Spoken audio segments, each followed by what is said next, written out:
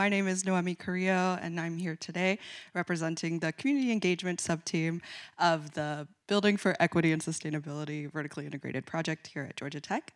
Um, so most of our work is relevant to SDG 11, Sustainable Cities and Communities, as well as SDG 12, Responsible Consumption and Production. And that's because we work with a community-based organization here in Atlanta, the West Atlanta Watershed Alliance. Um, and they're primarily um, focused on the three E's, so they say, um, the environmental education, environmental justice, and environmental stewardship. So these are three really important things for the Wawa. And so with that, we have been working on with them on a project that they have kind of spurred um, over the past two years that we've been working with them, and that is the construction of an outdoor classroom to expand their outdoor education spaces, as well as um, the continued practice of placekeeping and aiding them in that process. Um, so for the construction of this outdoor classroom, um, when it comes to the design, the idea came from uh, dis many discussions with Wawa staff as well as discussions with community members. Um, Wawa is situated in the Bush Mountain community in southwest Atlanta, right next to Oakland City. Um, and it's a historically black community. There's a lot of rich history there.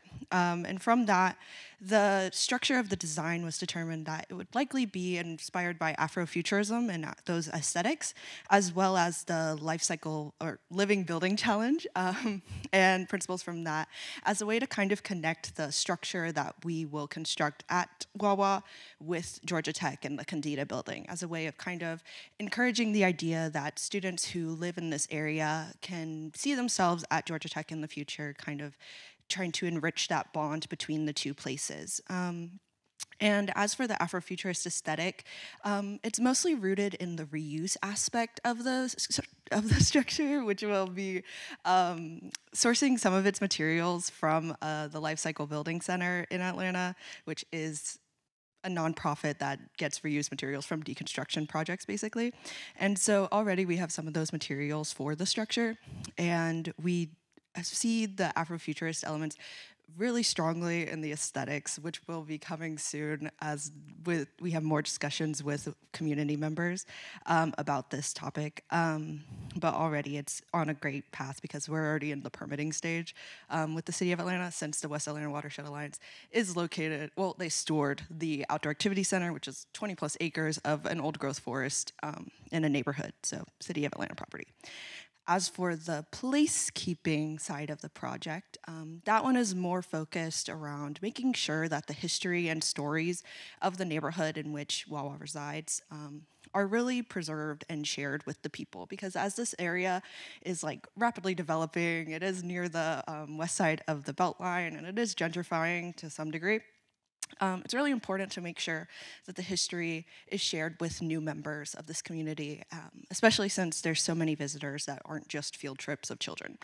And so in order to do that, we are using um, previously collected oral histories collected by a former Spelman student who was an intern at Wawa for a few years.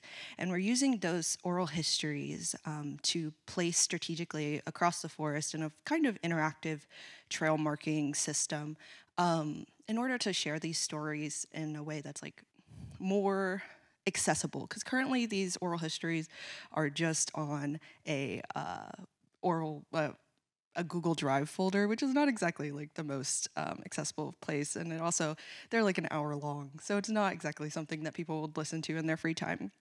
And we're doing this to kind of just like share information as well. Um, there will be um, informative trail markers that are more cost effective as well, um, talking about things like the natural history of the region as well as um, just the, oh, the history of the Bush Mountain community with more like book resources rather than just oral histories.